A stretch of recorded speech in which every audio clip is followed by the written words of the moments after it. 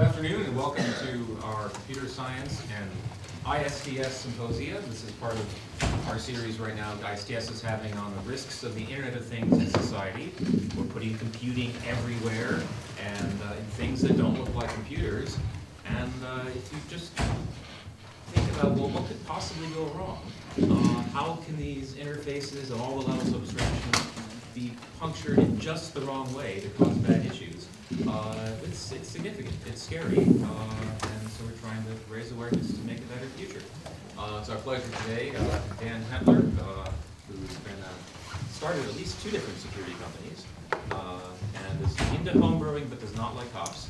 Uh, we'll be talking about uh, just ship it, they say, it'll be fine, they say. Yeah. Cool. Thank you. Right. What could possibly go wrong? Actually, the sticker, right? Like somebody gave this to me at a con, and I was like, that's perfect. Um, right. So um, I'm here to tell you what what how pleasant it is to exist in the burning dumpster fire it is uh, that we call information security. Uh, so about me, um, I'll not read the slide to you. I, I do stuff. I shout a lot. I go to a lot of cons. Um, this is not going to be a very technical talk. Like there's not going to be a lot of technical jargon. You don't have to be an expert to get this sort of stuff. Um, in most cases, this presentation is me basically shouting and flailing my arms and consuming alcohol on stage, complaining on why on earth, who decided this was a good idea, throw them on, you know, throw them in the river. Um, so uh, how I did most of this stuff, um, it's again fairly straightforward. Not a lot of technical stuff. Um, I started with Shodan and then start and then moved to doing my own manual scans, and then basically uh, with the help of several other people that do the same. We basically do this as a hobby me and six or seven other guys scan the internet for fun. Uh, and you think, can't you get in trouble for that? Well, as it turns out, they haven't invented rules for that yet. So if you're playing in the space where there are no rules, you can kind of do whatever unless you start getting a lot of people coming to your house with pitchforks and torches, then you might have a different problem. Um, uh, the methodology was pretty simple when you're doing these massive, massive scans. Like if I wanted to do one scan of the entire internet right now, I have a machine uh, in a data center connected to a gig link uh, and I can scan one port across all of IPv4, like the entire IPv4 internet. I can scan like port 80, for example, in 45 minutes. 45 minutes to 30 minutes, depending on the speed of the uplink. Sometimes I get 500,000 packets a second. Sometimes I get only 250. Um, and you take all that resulting data of all the ports that are open, and then you do more interesting operations on them. But the bulk of the work is narrowing down stuff that's open versus stuff that's closed. And then what you do is you take that and then you pass it off to your second and third waves of processing, like taking screenshots or, or spidering a page or doing whatever you feel like. So, uh, also, and as a side note, um, it is, it is uh, strict InfoSec compliance that you be harshly judged on your choice of animated GIFs. So please, if, if, if, uh, if you like, feel free to throw things. Um, so the question for today is if there's a thing and you can put a web server on the thing. Should you put a web server on the thing? And with that, I'd like to introduce today's mascot, Totes Magoats. Of course, put a web server on the thing. What can possibly go wrong? So it all began in probably 2010.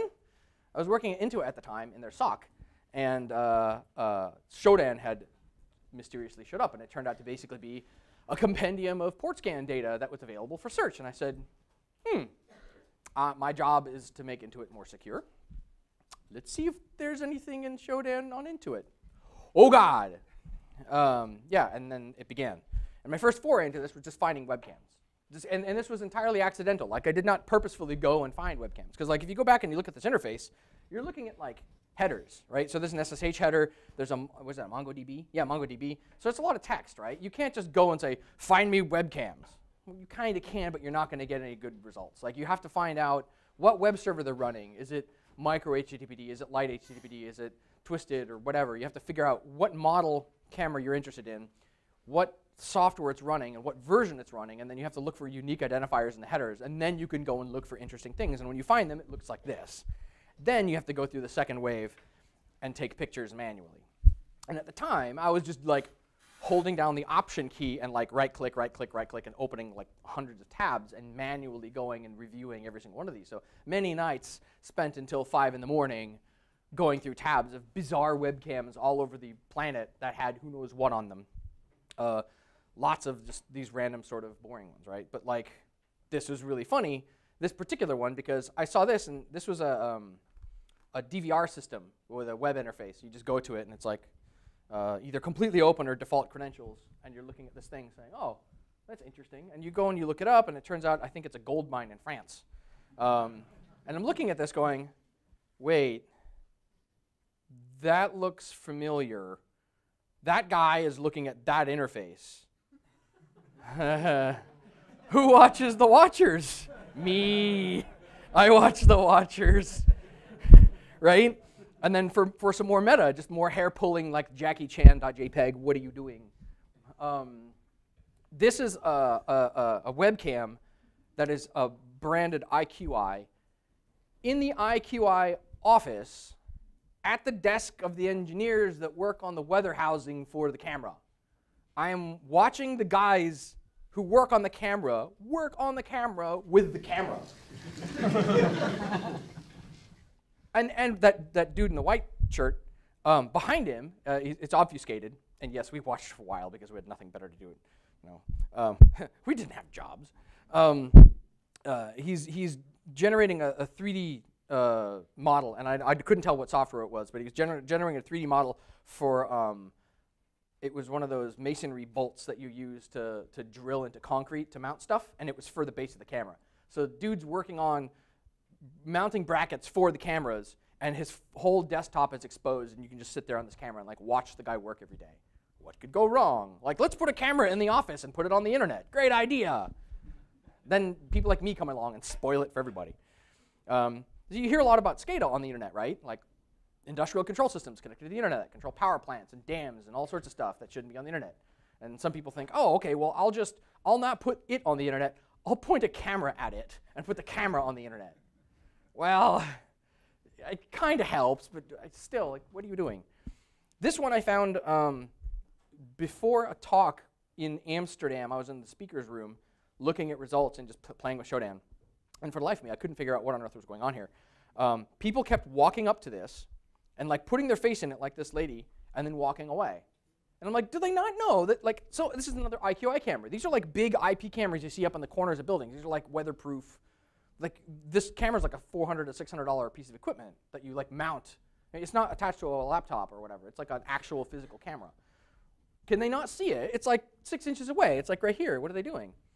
It was behind a, um, a one-way mirror, and it was installed into an ATM. Why? Don't ATMs come with their own cameras? Why is this public? Like, and, and, and you know, and I was, I did that, like, I got up on stage and I'm like, I don't understand, what are they doing? And somebody said, genius, yeah, you got bad crack, take your crack back to your crack dealer and tell him you sold your bad crack. It says ATM in the bottom corner. oh, I just can't read, right? But TLDR, most cameras are just boring.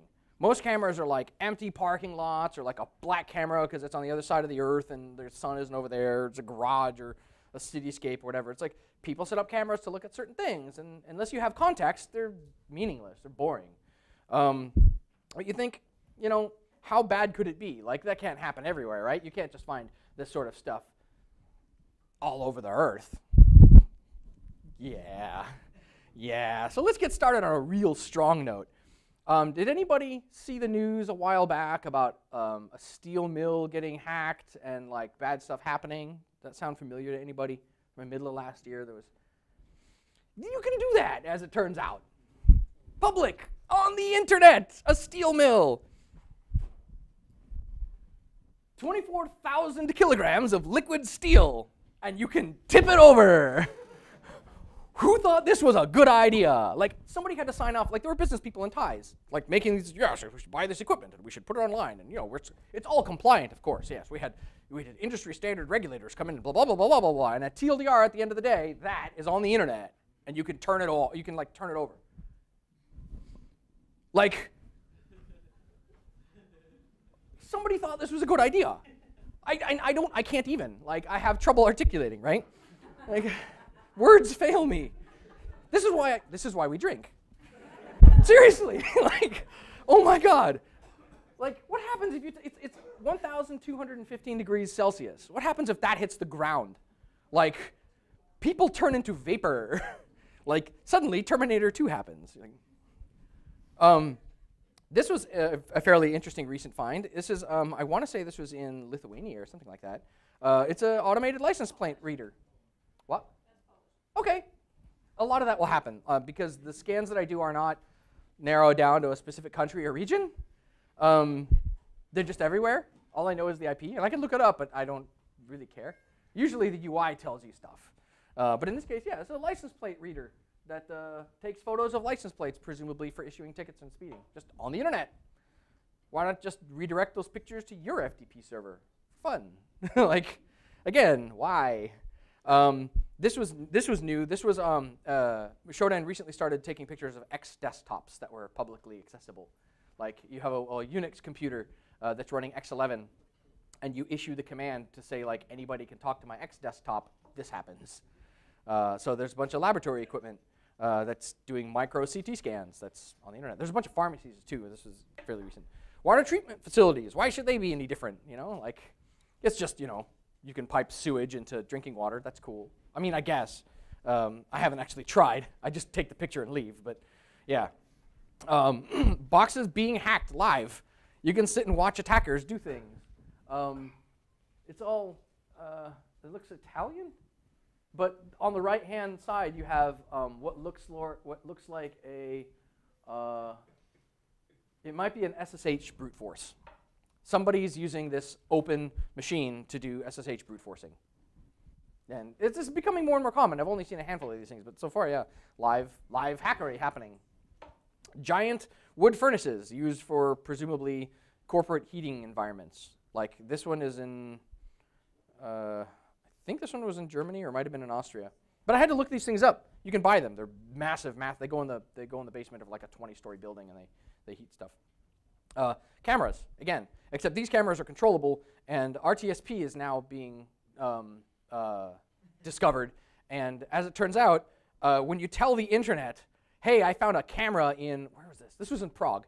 Uh, I found a camera, and this happened two weeks ago." I found a camera in Prague, and I just put it on Twitter. And I'm like, hey, look, I found a camera in Prague, and it's pointed at a meat counter. That's kind of fun. That makes me hungry. I want meat now. Um, a dude from the internet went there with a sign and took pictures of the camera. So, like, power of the internet, right? Where their powers combine, form of dirty hackers. Like, some guy went, like, it was the, one, of, one of the followers I talked to who's in, I think he's in Sweden, runs a radio show. And he asked his listeners, hey, who's in Prague? And some dude said, me. And how close are you to this grocery store? And he's like, oh, I could walk there from work. And he's like, you want to go on an op? uh, and there's, there's video I have. I actually have a GIF. Oh, I should show you guys this GIF. He was dancing in front of the camera, and we were recording the whole time. So I now have this GIF. Like it's now you guys are in on the joke. So when I show you the GIF, you get it. Um, Somebody decided it was a good idea to put a VNC touch panel on a, a bus and then attach that to a cell modem. And now you can like watch this panel on this bus driving around in, Sweden, in, Nor uh, no, Norway. Uh, and you can see like what its cell signal is, and you can see how much fuel it has, and you can see like if you can read the language. Yeah, you can do stuff. It's a bus. Somebody, let's put a bus on the internet. Um, lots and lots and lots of conference gear. Uh, fun fact, these Polycoms I've seen you guys have here, a lot of them are put outside of firewalls because the protocol that they use to communicate is a pain in the ass to deal with.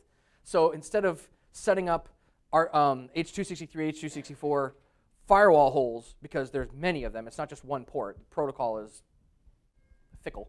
Um, people just put it outside of the firewall and they're like, I'm done, I don't care.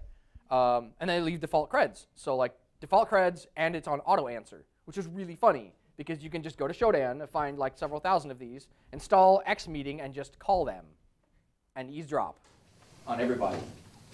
Isn't that the MIT logo? Um, maybe? Where? What am I looking at? Good catch. Good catch. Right? Spot the problem. A little bit of audience participation. What's wrong with this picture? Um, this is a screenshot of some sort of like home automation system or home stereo system connecting somebody's phone to it, and it's giving you the Bluetooth MAC address of the phone. Um, which in of itself is abstract enough to where it's not that big of a deal. But if you sat and watched this thing long enough, like you could probably do some interesting things. Um, this is just information leakage. Uh, if you know this person, then you can follow them because if their Bluetooth is on, like if they're um, crouching hacksaw hidden douchebag like me, and they have their little uh, Bluetooth headset on them and it's on, uh, that's broadcasting this everywhere all the time. And you can track them in physical space. Like you can configure a drone to say, follow that Bluetooth address to go, and then it'll, which creeps people out. Don't do it. or don't tell them I told you to do it. Do it. Put it on the internet. Um, this was a first. I'd never seen this before. It's a train maintenance yard, and it's a camera on a Raspberry Pi that's set up to inspect the wheels on trains as they drive by, uh, and brakes, which is really really cool, I guess. Um, but it's just a VNC uh, uh, handler on top of a Raspberry Pi desktop. Like you can just minimize this thing, and you have an embedded Linux machine running ARM. You can do whatever you feel like with. So this isn't like I think it was in Philadelphia or something like that. Um, you wanna you wanna hack some stuff, you hack it from here, and then they think the train people did it. And what could possibly go wrong? Yeah, so, uh, uh, North Korea totally hacked Sony, right? Um, if you want to print a badge for this company, you can print a badge, and you can be an employee, and you can walk right in the door. Ask me how I know. Um, yeah. No, I do that on gigs. Like, that's what I do as a profession. I break into places and hack things. And one of the easiest ways, like you don't have to dress, like you hear stories about people dressing up in like UPS uniforms, like flower delivery. No, no. You hack the badge printer and you print yourself a badge. Then you walk in and ask the security guard, can I have my badge please? And they give you a badge and you walk in. Like you don't need to dress up. Like, yeah, pro tip. Um, I didn't know that taxis were online, but that was pretty cool. Um, I like I suspect you could probably get some interesting information out of this UI if you were like to go in and poke around. But legally speaking, it's one thing to like use an automated tool to take screenshots, and it's another thing to actually connect to it with a client and start poking at stuff. If you're using an automated tool, then there's like zero liability. Like you're just taking a screenshot with a command line tool, there's I'm hands off. But if I connect with the thing, I actually have keyboard mouse control, then you you get into a bizarre gray area, and that's it's still there's no law for this sort of thing because it's public, and public is public. And if it's public, like it's public. Um, yeah, you may run into trouble with the uh, CFAA because uh, you're accessing your. Uh, some people will believe you're performing an unauthorized access. That logically doesn't. Yeah, it logically doesn't work because unauthorized means that they took some steps to make it unauthorized or did some. That happened to Bob Morris Jr. He got convicted of unauthorized access for systems that require no authorization. Well, I've been doing this for five years, and I talked to the feds and DHS, and so far I'm not in jail. So just saying, like, I'm not weev. Like, I didn't make a plan to go embarrass people in the press, and I didn't plan to like go and do 0day stuff and Black Hat stuff. So like, I'm very open about it. That's true. He was his like, primary charge was conspiracy. Yeah. So like, I'm take. The funny part was like two days ago, uh, I I got into a snit on Twitter with a bunch of people about uh, posting an Italian gas generator that was generating like 40 kilowatts of power, uh, and saying, "Oh, look, Italian power generation, happy Monday." And people were saying, like, what are you doing? You're putting this on the internet for bad guys to attack. And I said, did you look at what actually happened? And they were like, no. I said, scroll back and then talk to me when you're done reading. And as it turns out, the same guy that, that, that got the, the dude in Prague to go to that grocery store for me reported it to the power company the minute I posted it, and it was offline less than an hour later. So I'm like, I, those are results. Like, I could try and go to them and say, please take it offline. I can send an email and hope to get in touch with somebody. I could try and make a phone call to people that don't speak English. And I could try and I could try and I could try and be like, be nice about it, and no, they'll ignore me. But I put it on the internet, and now it's a race between the bad guys and good guys, and there's more of us than there are them, at least paying attention to me. So like, in column A, I can do it properly, and maybe someday in a year it'll go offline, or I can post it to Twitter and it'll be offline in an hour. Pick one. So like, do you want results or do you want me to be nice about it? So, so far, people want results, and they don't care if I'm nice about it or not. Um, this guy might, but this is the first I've seen. Some dude practicing being a DJ with VNC enabled on his desktop. Like, maybe he was spinning live. I don't know, but I've never seen, like, a DJ live on VNC. Um, this I've seen a couple of already, which is bizarre. This is a, a, computer that's been infected with ransomware. And the presumption here is that because it's open VNC, somebody found this before I did, and instead of just taking a picture of it and moving along like I do, they infected it with malware, and then they moved along. And this is a thing uh, demanding one Bitcoin, uh, please send to this, this address. And the funny thing is, is that you get notified when people connect to your VNC desktop. Like it's not like it's hidden. Like VNC tells you somebody's talking, like somebody, like an anonymous user has connected. Number of connected users one. Like it's not like it's a secret. If people are looking, you can't install VNC on a Windows machine by accident. Like you have to go through the installation wizard, and then you have to manually say no authentication. You have to turn it off. That's all. That's all. That all all machines are unattended. But but that's the point. Is people put this stuff online, turn off authentication, and then walk away, and then they're surprised when it gets owned. So the problem is people just don't care. Effectively, the underlying it's either they don't they don't care, and then on top of that, there's some sort of quantification for why they don't care. It costs too much money. It's too much attention. I'm not too I'm not technically inclined enough. They have excuses, but at the end of the day, it's they just don't care, and this is the result. And this entire talk is literally the result of people not caring about security. That's part of it. But in, in, in, a lot of, in a lot of cases, like with this, this is an embedded system that came with VNC um, uh, hardwired in. Like uh, Siemens equipment and HMI equipment and SCADA equipment has, um, they have an HMI, which is basically, they call it, it's an acronym for Human Machine Interface, which is a fancy way of basically saying, an embedded Linux computer or an embedded Windows CE computer with a touch panel on the front of it and just Ethernet out the back. And the Ethernet talks to a, a piece of SCADA equipment and that talks Modbus. So you have a thing that the people touch connected over a, an ancient protocol with no authentication or, or authorization of any kind to equipment that turns relays on and off, and those relays control power plants and dams and ice rinks and you name it, all sorts of stuff. And when people decide to take those pieces of equipment and put them online, you have that touch panel is now publicly accessible because some genius decided to put it on a publicly routable IP address. And now that that's public, the VNC endpoint that's supposed to be internal is also public, and it has no authentication. So you get stuff like this, which is the monorail at, in Vegas. The monorail system in Vegas, apparently the ticketing systems are just public.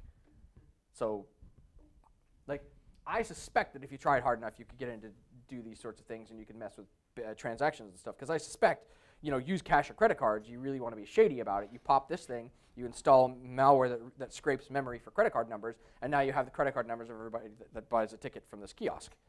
But I just take a picture and leave.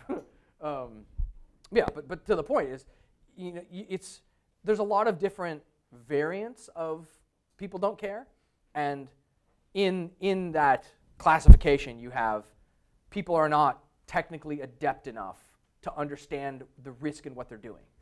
Like, um, this, this one, actually, um, it wasn't my screenshot. This is Jonathan Kliesma's um, that I stole. This is a live attacker uh, harvesting money from PayPal accounts on presumably, maybe a hacked VNC desktop. Um, uh, possibly, yeah. Yeah, well, it says in there. Yeah. So yeah, a Windows box with uh, set up under the Russian OS, running Windows 8, um, 8 or 10, and uh, it's stealing. Like we're watching theft. so yes, feds follow me on Twitter. Yes, this got reported. Um, I'm not sure if anything happened because we never hear after the fact, especially if it's extra national. Um, a methane factory, like attached to a, or not a factory, but I should say, a methane power generation facility that's um, uh, this is attached to a, what do you call it? No, not a farm. It's a, a landfill. That's one. Yeah, yeah, it's a landfill. This captures methane coming off of a landfill and burns it for energy. Um, no possibility for explosions here. Put, put it on the internet. That's fine. Just put it online. It's all good. Uh, it's maybe it's Italian. Maybe it's Spanish. Oh, it's Manny Energy up there in the top right if you guys want to Google them. Um, lighting controllers. Want to turn the lights off on somebody? um, again, same sort of thing. Like this is a touch panel somewhere. Somewhere in like a basement, this is a touch panel, and it's on a wall, and somebody paid tens of thousands or hundreds of thousands of dollars for this equipment, and it, it does, it functions for them, but the people that, that networked it to the networking in the building made it public, and now this thing is, and, and, and if you look at the top, you see the IP address is 192.168.1.101, which means somebody poked a hole in a firewall so that the internet could get to this. So again, this is not a mistake. Somebody did this on purpose. Somebody knowingly, legitimately logged into a corporate firewall, opened a port, and forwarded that port to that so that somebody could get to the lighting controller. So either A, they don't care, or B, they don't understand the implications of what they just did. Because now it's like a lot of people think, oh, I'll just put it online and not tell anybody about it. Yeah, well, then I find it. And then I end up here talking about it, and it's a slide. Like, and I know, I know a bunch of people that do, we do this for fun, like in between gigs on weekends. Like, some people go out and fly kites and go fishing, and no, we're in, we're in our nerd caves doing this. Like, this is VNC. Uh, I'll, I'll, I do have some HTML stuff, but that's because I, I got on a, I, I went off on a tangent. And I, ah, there's a screenshot I'm missing. I, if I have time for live demos, I'll show you a live demo. But like, uh, I do HTTP screenshots. There's way more HTTP than there is VNC. VNC, I can screenshot the whole internet in a day or so. Um, You might mention that uh, Microsoft Windows not having any reasonable remote connection interface basically brought VNC to life. Yeah. Well, it started with PC Anywhere back in the 90s. You had to, if you wanted to, to, to remotely control a Windows computer, you had to install third-party software. Uh, and then first there was PC Anywhere, and then, then I think VNC came around, and then Microsoft caught up and said, "Oh, we'll just we'll make RDP." Now, now uh, as of two days ago, there's 3.8 and some change million RDP endpoints that Shodan has found so far. So, any question in the back? People aren't using PowerShell is there a control yet? Uh, Which is what, um, which is what people do in industry for, for that now. For remote control, Yeah, sure, you can use PowerShell for remote. um, well, command line maybe. Yeah. but that's less interesting than this. like this, all of this stuff is like basically a, a rat hole I fell into entirely by mistake. Like I, I, this all started because I just did a query in Shodan once, and then I realized you could find all sorts of stuff, and then it just turned into this ridiculous, like, it's like a Wikipedia hole, but it's five years long and it involves VNC. um, but yeah, uh, grow rooms now apparently. Uh, this is a, a host in Colorado. That's the, the, the touch screen interface to a giant marijuana grow room. And the funny part was when I put this one on Twitter, some people went, uh, hold on a sec, I might know that guy. Which happens more often than you think. I'll tell you from personal experience, the internet is exactly this big. You put a tweet out into the world, and like some random will be like, oh, hey, I know that guy, hold on. And you go, oh. There's, yeah, I'll get to that. I have a story about that. Uh, this is another one that was really funny. This is a um, Spanish or Italian gas generation turbine that's running on Windows 95. This screenshot is like a couple of weeks old. First, Windows 95? What year is it? Uh, and two, like, so again, somebody thought this was a good idea. Windows 95 does not come with VNC, and when you install VNC, it, it makes you set up a password. You have to force it not to have a password. People did this on purpose. This is not an accident. So, like, you want to have the discussion about authorization. Well, I have legitimate documented evidence that they took the effort to make it public. And if it's public, it's public. So we walk into it like a store. Um, this was interesting. I never thought that I'd find this ever. A yacht. A yacht. Um, I, I didn't spend a lot of time looking at what the controls could do. I mainly just drank some more. Um, uh, so, uh, to your point about HTTP interfaces, um, I found a webcam that, that was basically so. If you're ever wealthy enough to go to the Maldives, there's a restaurant in the Maldives that's shaped like an octagon that's submerged in the ocean, and it's low enough that it's basically sat right on top of or right next to a coral reef. So if you're up to one side of it, there's like a coral reef that you're, you're sitting eating dinner, and there's like a three foot plate of plexi, and on the other side of that is the ocean with like sharks and fish and coral, and they have a webcam pointing out that window at the coral reef to look at the fish as like an attraction thing on their website. Well, I found the camera by just going on Shodan and looking at images. I might, if I if I go fast enough and I have enough time for live demos, I'll just show it to you. Um, and I, I looked at the Maldives as a country. Turns out that the entire country is basically just this giant string of islands in the Indian Ocean, and it's just for really, really, really rich people to go vacation. So I scanned the whole country. And I took screenshots of all the web interfaces I found. Here's one of them. Why can I get to this? Why? Why can I get to this from the internet? Who thought this was a good idea? Here's another one. Search and download all our audit records. What could possibly go wrong? Just like I said, animated GIFs important. The help desk for the air the airline. The help desk for the airline is all on the internet, and you can just get to it and mess with it. I get excited about these things. Um, their entire wind farm apparently there's a wind farm that contributes to power generation in the Maldives. Here's its interface. You can't turn anything on or off, but you can get full reports of um, how well they're doing and what the winds are like.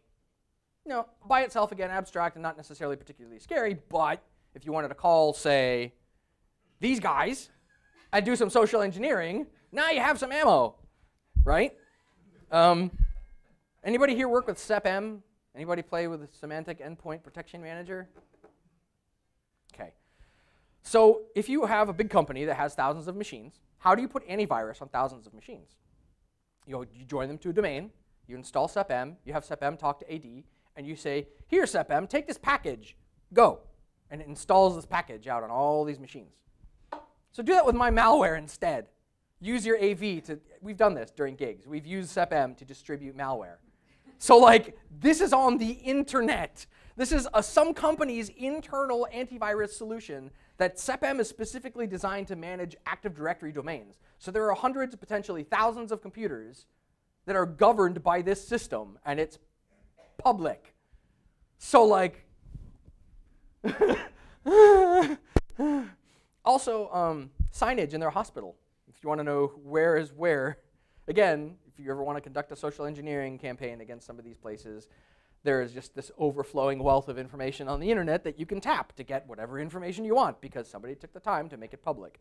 Um, also, if you want to book a uh, you want to book a table, um, DJ night is from 21:30 at the Water Bar. um, but yeah, uh, there's enough names like it's Mrs. Birthday, Miss, Mr. Schiffer Bettina. If we had enough time, I would just say, everybody that's got a laptop, Google this guy. And we would, as a, as a room, just dox the dude here, just based on this slide. We, all we have is a name. You know, we know that this guy is at a, at, a, at a place that one night in a hotel room with less than six months of notice costs $13,000, gives us an idea of the budget we're dealing with. And we know that there's birthdays and we have, anyway, I could go on, but just use your imagination. Um, I did not know that these existed, but I found them entirely on Shodan. These are um, machines that are designed to take industrial, or uh, they're designed to work in an industrial fashion, and they take x-rays of chicken.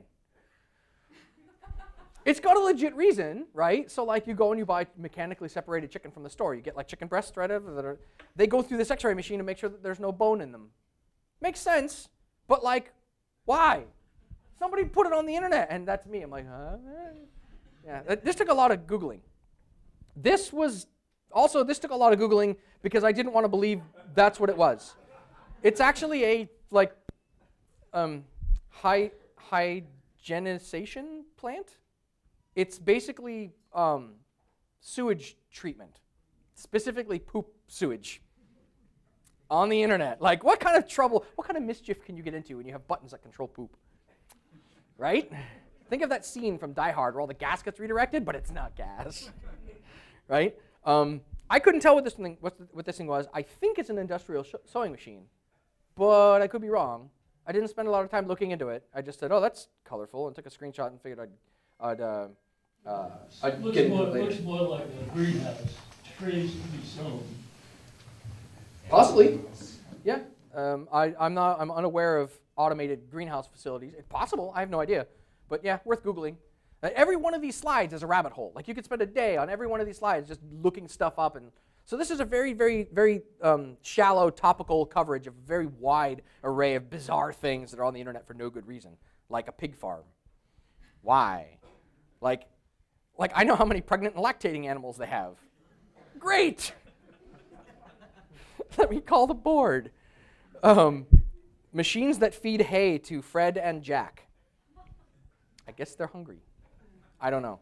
Hydrogen fuel cells. This was one of my first big findings was you can telnet into a hydrogen fuel cell.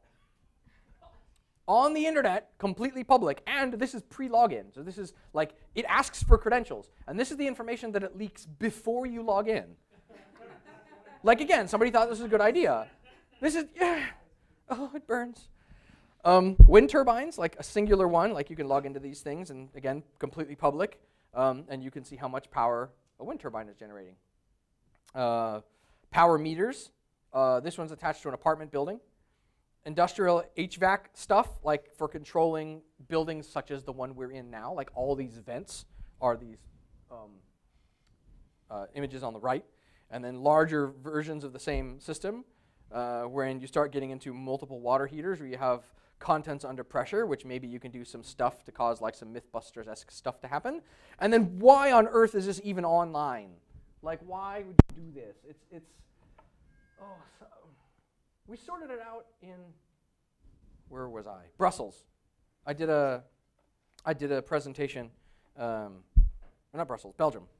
Um, I did a presentation presentation in Belgium, and this slide was in there. And somebody actually said, "Oh, I speak Italian, and this is what it is. It's like a um, uh, Italian water treatment facility that's just online, public. Why? um, someday I want to have this problem. Someday I want to have a house that's so big I need industrial SCADA equipment to manage it. Hopefully I don't put it online. But you know, uh, if you really wanted to creep these guys out, like you go to this house and you find this graph, and then you know when they're running their heaters or when their lights are on or when their lights are off, and you start getting an idea of when they're home or when they're on vacation. You start going into creeper mode. Um, solar water heaters, like mainly, I don't want to say a passive system because it's got stuff that runs, but again, like, uh, why? Uh, somebody put it online so they could look at it from work, and they made it public, and now everybody can see it. Uh, anybody familiar with that particular uh, interface? Like, you probably see these things all over the place. I have a story about where I was in a room one time that had uh, one of those things, um, and we couldn't for the life of us figure out how to get the because the air AC was just blasting. It was like 40 degrees in the room, and we were all freezing. Um, and despite all of our effort of turning the power up or uh, turning the heat up, it never went up. And now that I found this thing, I just imagine some kid sat in the back corner going, and just turning it back down again. Because it's public. Public is public. Anybody can find this stuff. And, and in a lot of these cases, I'm not the first one here like the one that I showed you before, where there's like a machine that was live being hacked and machines that are, like I'm not the first guy here. I'm just the guy telling the internet about them. Um, so uh, for the people I was talking to earlier, uh, if any of you are in the room, that I talked about these machines that are basically like Raspberry Pis that are uh, controlling stuff. This is what they look like. This is what the web interface looks like. Um, and yes, it can get worse because toast my goats, of course. Generally, security is a horrible, horrible, horrible, horrible joke. Nobody cares about it at all. Uh, if you can't spot the clear text password in this, it's right there. The password is meter. Um, and if you decide to actually touch the thing, uh, well, in some cases, like you say, okay, well, I'm going to actually go beyond just looking. Let's poke around and see if we see anything interesting. So you find a, a completely um, innocuous thing like a, a, camera controller, right? So you look at this camera controller, and without touching anything, you can see in the top right-hand corner that there's a glass door and a logo. Uh, based on the IP address, you can tell that it's in Newburyport, Massachusetts. Uh, and then you take the, the image and then you flip it horizontally and you get the company name, which I forget what it was, but their title is Security Integrators. Good job. Um, this is as close as Google Maps could get us to the place, and this is entirely passive reconnaissance over the internet. We do this for every gig. Like every company that hires us, we go and we see what we can find on the internet, see what they have connected. We find their company information. We look at them on Google Maps. And a lot of times we can get into an organization entirely without ever sending a single email or picking up the phone or sending any kind of malware. We can just ask nicely and get let in because we know enough information about them online to just do that sort of thing. Um, I didn't do this. This was reported to me after the fact. But one of the cameras that I found, uh, some prank call internet radio show got a hold of and called the pizza place. And um, they called the pizza place because they found the camera. And the, the girl that answered, um, they told her that they were like tech support and that they were having trouble with the computers and that she needed to do a bunch of stuff because it would fix the computers. And this must have been like 1 or 2 in the morning because there was nothing going on. They, they told her to hold up this code to the camera because it would authorize it would authorize the camera to do something. So she put OMG hacks, right? Uh, and then you see that um, the computers back there on the left, there's three computers, but the one to the left, it looks like it's wrapped with brown paper. Um, they told her to do that because I had a virus, and she was like, okay. right? And then they told her to wave, and she did. I mean, it was all harmless, right? Nobody got hurt, nothing got actually broken. But like the power of social engineering, all they had was a camera feed, and they were able to call this person and tell them that, like, yeah, we know everything about the environment you're in because they can see where they're in. And who could possibly know all this stuff, right? Well, apparently anybody on the internet if you're bored enough. Um, large industrial um, evaporative coolers, uh, which look like this, and then have logs like this. And this is how I got one of the phone calls that I got. Uh, so a little bit of a little bit of um, operational security awareness in that uh, the name of your computer gets recorded to some of these things when you connect to them, despite however however uh, benign your connection might be. Um, so in, in my case, uh, at the time, my the name I had set to my computer was a resolvable domain name. So the person saw the log, looked at the name, and sent me an email and was like, "Why is your computer con connecting to my controller?" To which I responded with as, as canned as I could possibly write an email that basically says, "Hello, thank you for writing us. Your machine was scanned by our scanner. It appears to be publicly accessible on the internet. The reason that you saw a log entry was because our scanner has connected to you and has taken a screenshot of the interface for research purposes. If you have any questions, please call this phone number, blah, blah, blah, blah. And I never got a response, but the machine went offline less than an hour later. um, anybody know what a Liebert is? Lieberts? No? They're giant UPSs. Uh, anybody ever put a UPS in test mode?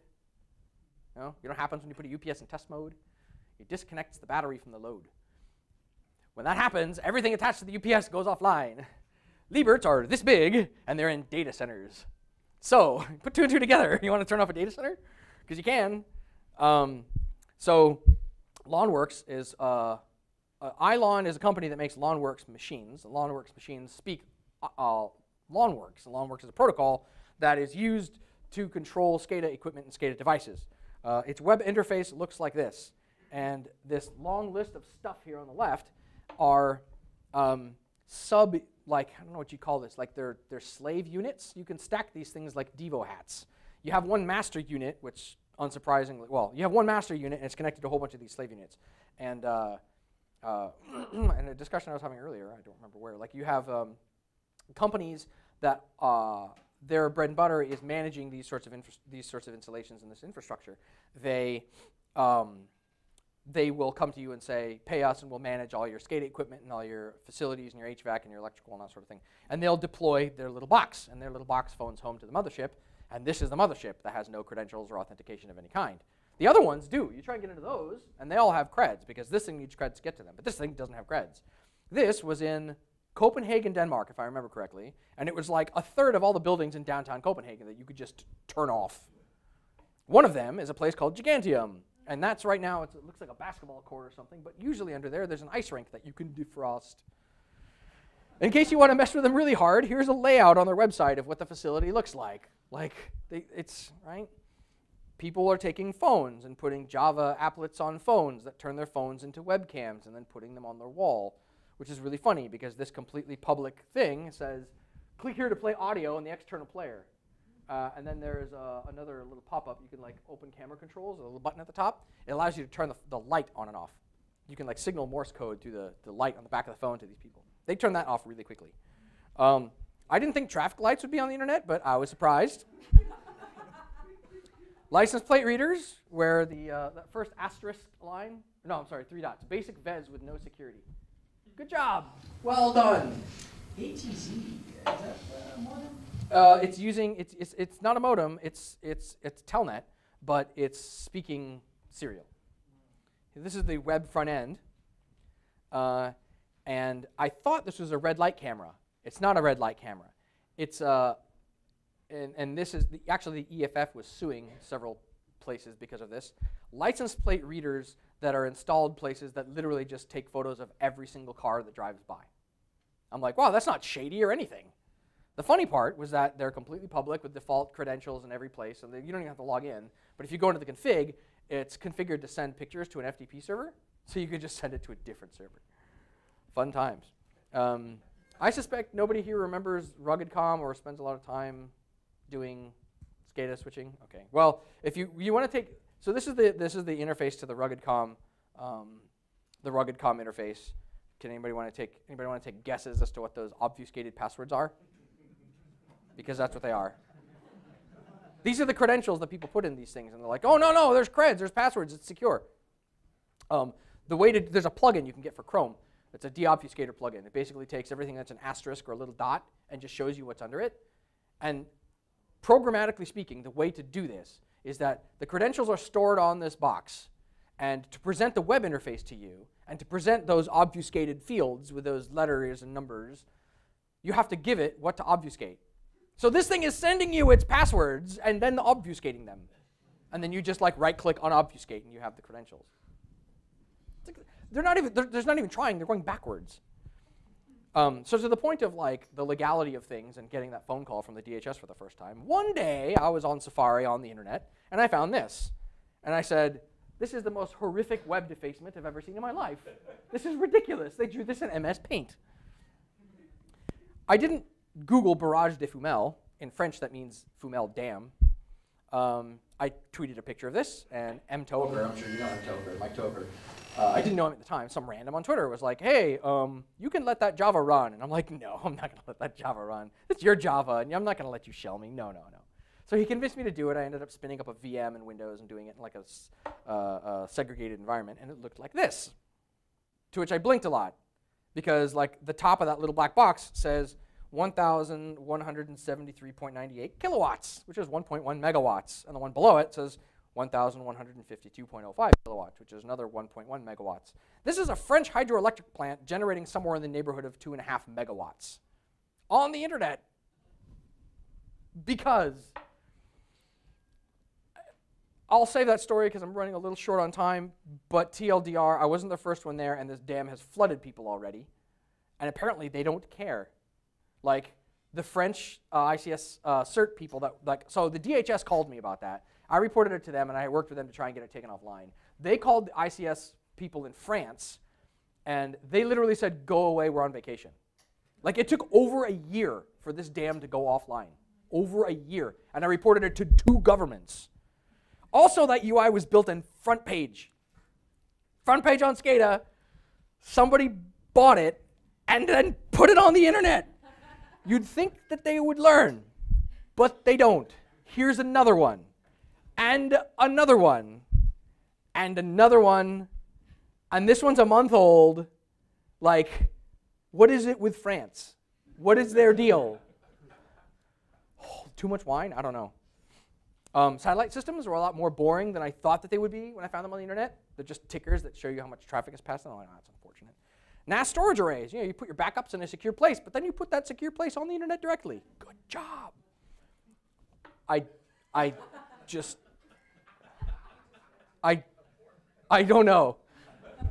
This one has little gates you can lift that lock the car inside of it, and you can have a little alarm that sounds. I don't know. I'm nine. Really, I'm nine. I look, look I'm, like I'm not nine, but I'm nine. Um, so you'd think humidifiers aren't particularly interesting, uh, but these they make massive, massive ones that go in hospitals that do things like raise the humidity levels and the burn ward and things like that. Um, to where their advertising material says that the internet connect, or the, the network connectivity is wired directly onto the board, and in their bragging rights in their in their marketing material, they show that they these are in the White House. To which I just went,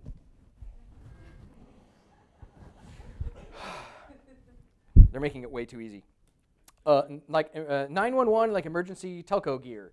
Um, this is a VoIP system that takes 911 calls. This is its interface because it's public.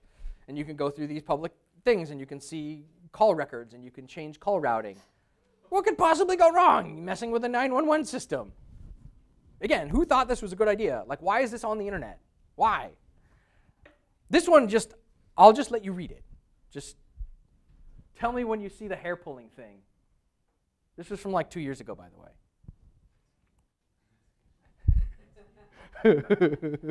what year is it again? 10th of August, 2001. Support for Netscape 6. Yeah! oh my god. Script found on GeoCities. Who remembers GeoCities? Who remembers when GeoCities went away? Like, there are people that are born now that are after when GeoCities went away, and this is live code on the internet. Speakers that you can send MP3s to, that will play the MP3. Somebody thought this was a good idea and put it on the internet. No trolling can happen. Obviously, it'll be fine. Just ship it, whatever, who cares? Wine coolers, large enough to have an alarm for the champagne. this is some hotel in New York. I honestly don't remember which. I encourage you to try to find it. Don't tell them I sent you. This is what their fridges look like. And then this get, this is where it gets interesting. Um, CERN, lots and lots and lots and lots of hosts at CERN, like over 300, publicly accessible. And when I contact, they have an IC, they have a, a, a CERT department. They have a computer emergency response team. And I got a hold of them, and I was like, "You guys, are you sitting down?" Um, all of their stuff was online, like all of it. If you wanted compute time on CERN stuff, imagine mining Bitcoin on all of CERN's machines at once. Like particle physics, cryptocurrency, like, right? You know, this is um, uh, specs, uh, one set of specs on their compute cloud. Here's the physical locations of their compute cloud. Here's the physical locations of their compute cloud um, with the scoring of how, how busy the CPUs are. Here's their core network switching fabric infrastructure. Why is this online? This is no. Um, you want a VM at CERN? You want to? You want? Tell you what. Let's let's set up a Kali VM at CERN, and we'll do all of our hacking from CERN. Right? Like nobody will catch us because this is what their network looks like.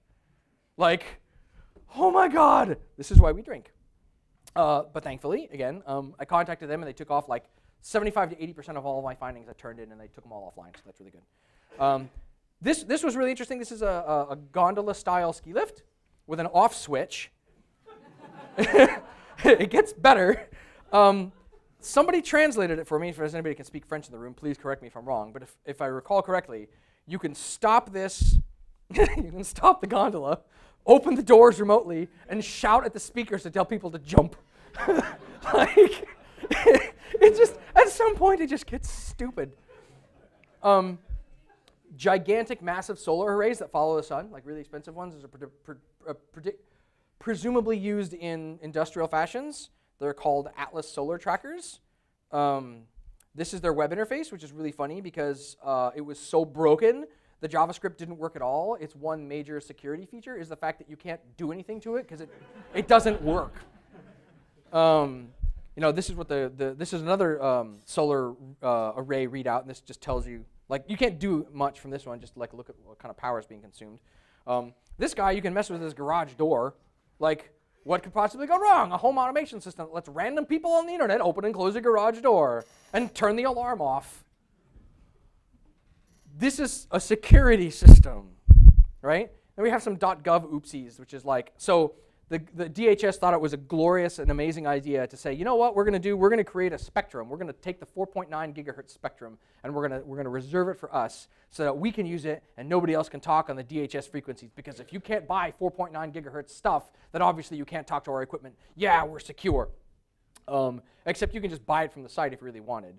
Uh, however, you know, I looked it up. So there's this, this TR49 series product, blah, blah, blah, blah, FCC, 4.9 gigahertz frequency band allocated to the DHS. That's cool. It's got SNMP open on the internet, completely public, and will disclose everything inside the SNMP readouts if you ask it nicely. And it will, and it will tell you, like, the uh, string that I um, blanked out was some lady's name that uh, it tells you what office she's in, and it tells you, like, there's like a phone number I think it was on this one. Maybe I lost the slide. But yeah, the, the SNMP contact information for this piece of equipment um, displayed the contact information for the lady who's in charge of the program that deploys this hardware. So like, you don't need to hack the wireless signal because the access point is public on the internet. Why? With SNMP open, why? With somebody's contact information in there with their phone number and their title and things like that. So you can just call them at their desk and be like, hey, I need these plans. And they go, who are you? Oh, I'm just at this other office. Cool, just fax them here. Okay. Like, I never thought I'd find fish on the internet. That was interesting. This was a cool story because uh, my, my, my wife's from England, and one of the first times I went over there, I said, we got to go to Oxford. And she was like, why do we got to go to Oxford? And I said, because of that. Um, so we went to Oxford, and I put my hand on this thing, and there is an, uh, uh, this amazing sense of fulfillment to randomly find this thing on the internet and then travel to that country and touch it. Um, so that was really cool. There's lobster control on the internet. That's cool. Um, I don't understand why a pool is complex enough, like a swimming pool is complex enough that you need a computer to control it and or put it on the internet. But that um, right so you can set it to manual and dump the tank. Um, here's another one. with the same thing. Like manual, maybe people die. I don't know. I've never killed anybody with a pool. um, but seriously, I, I don't even like. They make these things. You can buy them and put them. Again, same same sort of thing. Somebody took the time to make this public. Um, I just don't even. This is. A giant Korean power generation facility. I don't speak Korean, but you could probably mess with this if you can read the buttons. Or you could just turn the news on and just start mashing buttons and see if anything happens on the news. a coal mine. This is kind of neat. There's a combine. That little yellow guy, I think, is probably a lot bigger than the picture does it justice. Um, but yeah, this is a, a, coal, a coal mining facility in Lithuania, I think. Somebody, there's, uh, we found about eight of these. So who knew? Coal mines.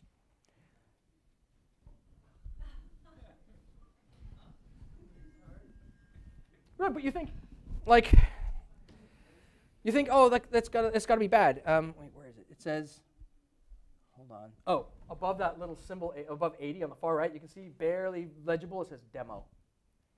And you're like, oh, that's not real. Oh, oh and the, the heartbeat looks too um, perfect. It's just copy pasting the same little wave over and over and over again. Like no heart does that. That's too perfect.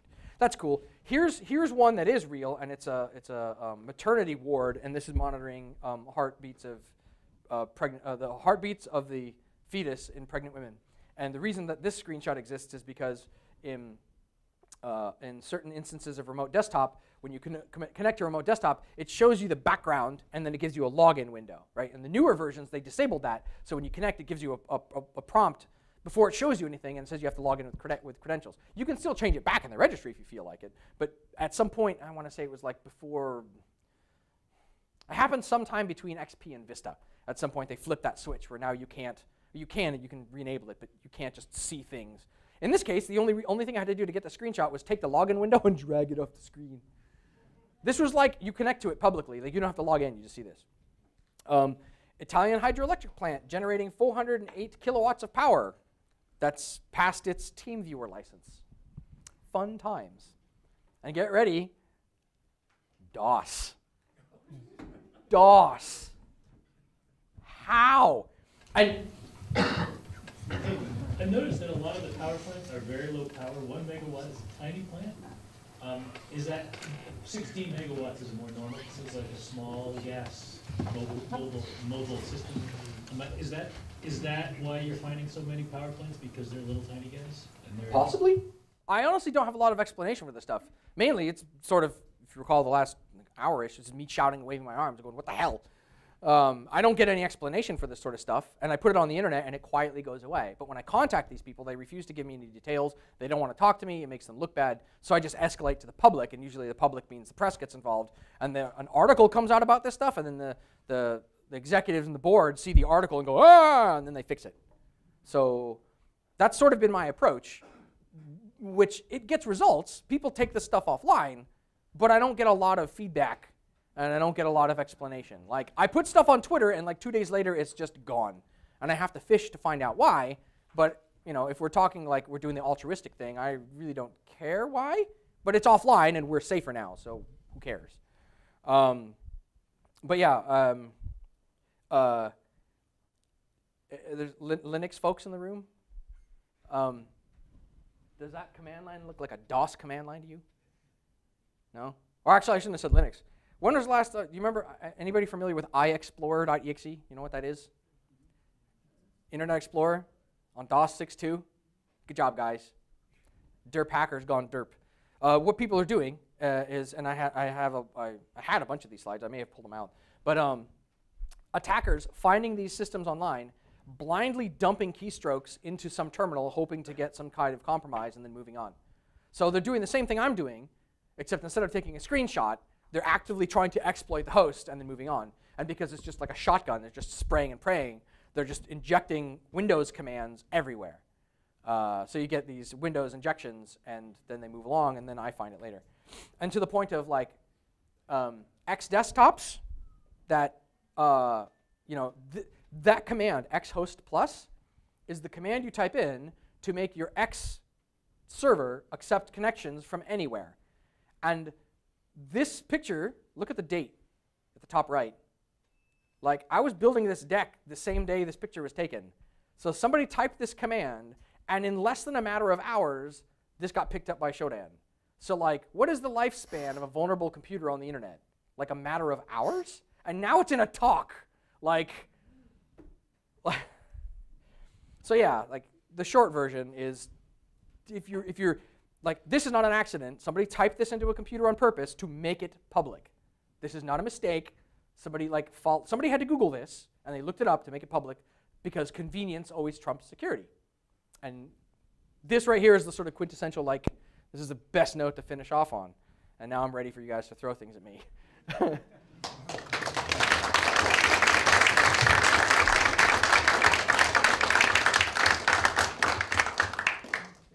Questions? Went to webcam. Yep. I saw the first one you showed, the guy has a keyboard there. Yeah. You find people typing my passwords and stuff with, uh, Uh? I haven't. Most of the cameras that you find aren't inside of buildings. They're not attached to computers. They're like, I don't see any in here, but they're surveillance cameras that are like attached to buildings and walls. Because the camera is itself a little embedded Linux platform with a, a camera device on it, and it's wired in via wireless or Ethernet or what have you uh, to the network. And usually somebody poked a hole in the firewall so people can get to it, or it exists outside of the firewall completely and you can just get to it publicly. So um, no, you don't see a lot of people's faces because in most cases that camera is a different camera. The camera on your laptop is protected by the operating system that hosts your machine. If I wanted to get into your webcam, I'd have to compromise your laptop first. It's not just a web interface on the internet. I'd have to like phish you or I'd have to get you to install a virus or click a link or do some stuff. And then once I had a shell on your computer, then I could mess with your laptop or mess with your camera, I should say. But yeah, the cameras that I find, these are the ones that are just publicly connected to the internet. Explain to me, in all the slides you've shown, how many were uh, just presenting information versus ones that would, would have let you actually do something? It's not clear to me wh- which, which we were seeing all the time. So if it has buttons, you can press them. Because, in, uh, so I explained before, you have like uh, a Simatic HMI made by Siemens or Tridium Niagara uh, that, that's a touch panel that's just basically an embedded Windows CE box or a Linux box that talks Modbus to another device. That touch panel is living on, in- on a wall somewhere or on a piece of equipment. Like, it's too bad I lost the crematorium slide because I had a slide of a crematorium with a dead person in it on fire, and there's like buttons. It's a touch panel, right? So you're looking at a, an interface to a touch panel, and you can treat it just like a touch panel. You can move your mouse around and click on it and interact with it.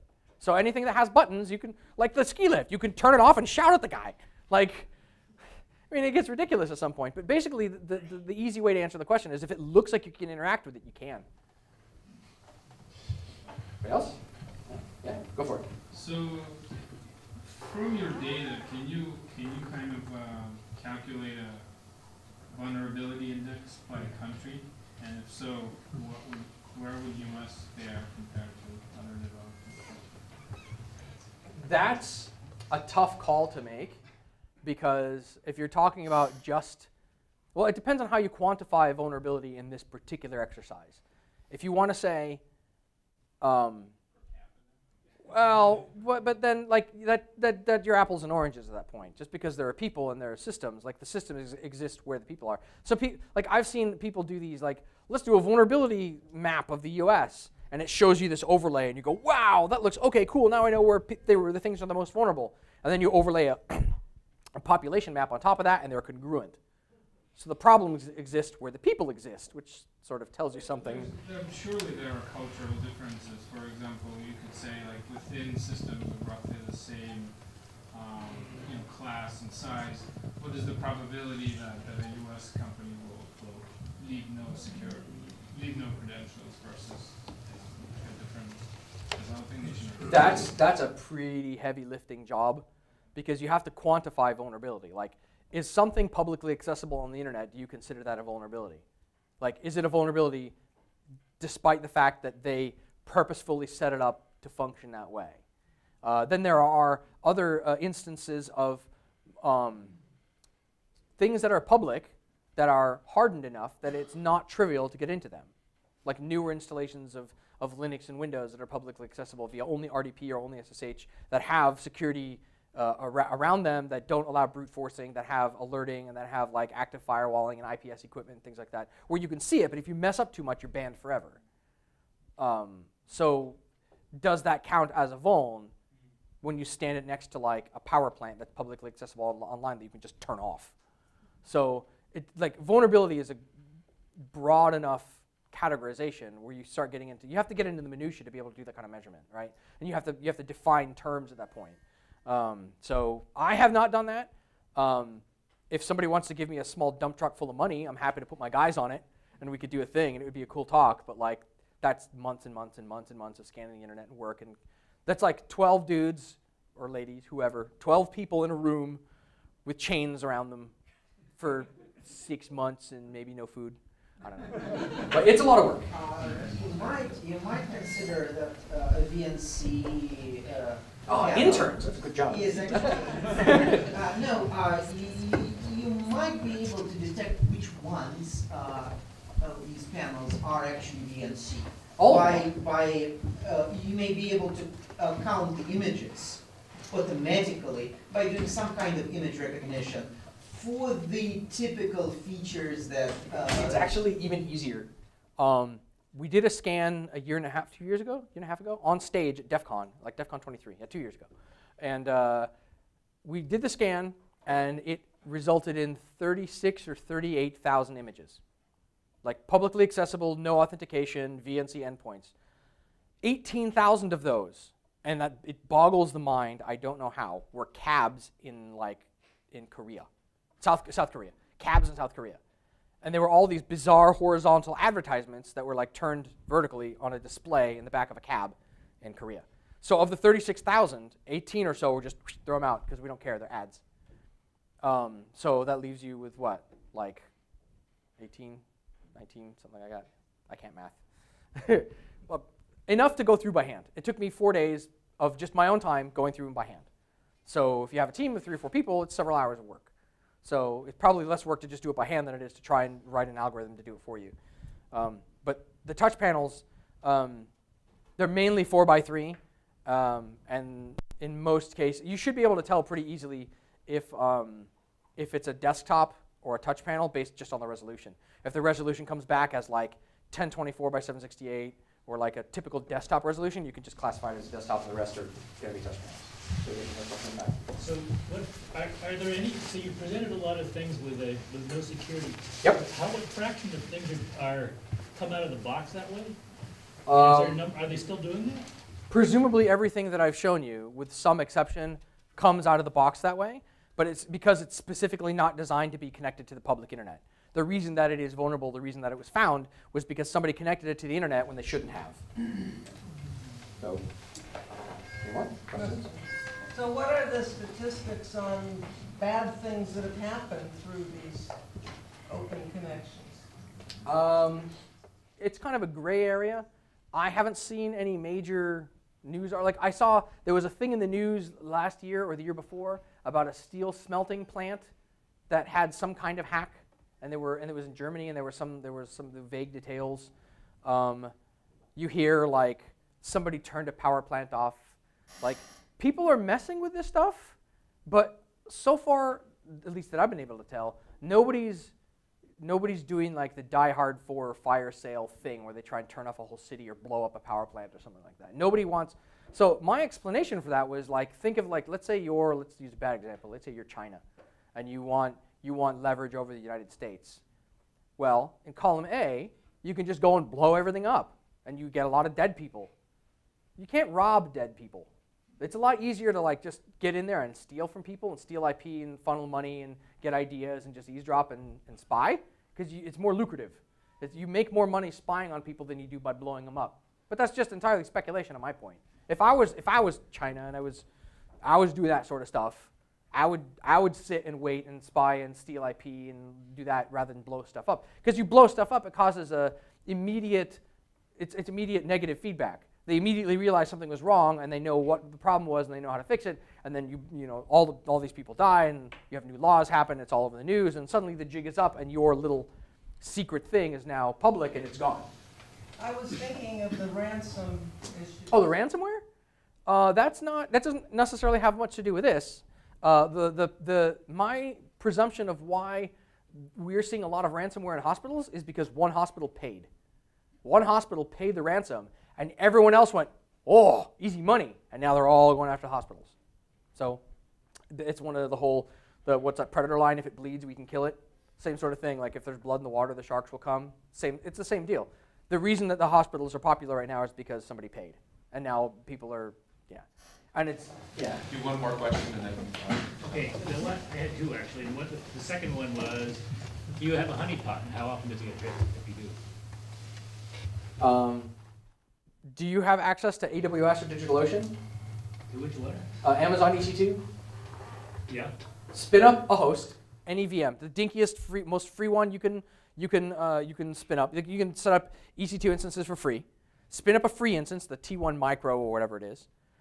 Uh, do TCP dump, not port SSH, and hit enter and just watch. Like, there's this. I call it the white noise of the internet. You're perpetually the whole internet's being scanned. Everything is being attacked 24/7 all the time. I mean, I, the last slide, like this thing right here, the lifespan of this host of being on the internet with X11 exposed was like a couple of hours. Within a couple of hours, this host got screenshotted, and then I put it in a presentation. Like, and, and I'm like a white hat. Like, I had no intention of compromising this, this machine and doing malicious stuff with it. But if a bad guy finds this, this is just this is literally just a root shell that requires zero effort to get into. That, that's full control of a host um, with no effort, no hacking, no cracking, no malware, nothing. You just VNC in and boop, you have root. You can do whatever you want with this box. And there's thousands of these. So, you know, I, I'm, so put it this way. Bad guys in other countries have been doing this for at least 15 to 20 years. At least. And just now we're getting to a point in the US where I can do talks like this and not get arrested after I get off stage. They have a 15 year lead on us. And we're just getting to the point where we're convincing people that this isn't scary, that this should be researched, that we should talk about this in the open and not just get immediately hauled away in shackles. So, as long as that's the case, we're continually going to be behind the ball.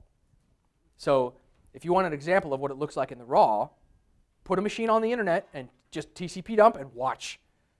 And within minutes, you'll get brute force attacks, you'll get random random pot shots of, of people trying to throw exploits at you. It's everywhere, it's all the time. So, um, yeah, it's, it's very, very noisy out there. And TCP dump will show you. There, I don't have any specs, but uh, there's, um, is it the ISC Storm Center or the SANS Storm Center? There's a place where you can look and see what the noise looks like. Um, and Cisco Talos, I have a couple of friends that work at Cisco Talos that just did a really great blog, blog article on the specifically the ransomware uh, that came out recently because it's so popular.